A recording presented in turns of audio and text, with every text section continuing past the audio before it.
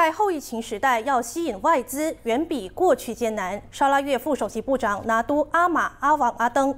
认为，各州不能单靠联邦政府提供的奖业和地理位置或天然资源生存，而是应该改善投资政策，打造轻商的发展环境，吸引外国企业进驻。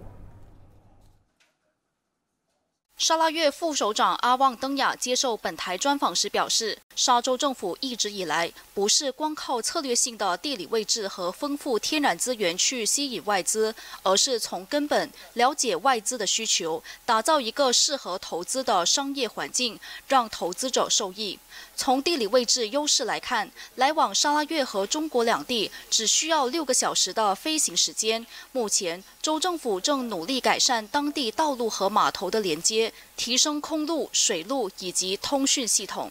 阿旺登雅指出，沙拉越连续三任首席部长，过去一再根据时局变化，不断改善州内吸引外资的投资计划，招揽高素质的投资者。他说，要从竞争中脱颖而出，不能依赖中央政府提供给投资者的奖业。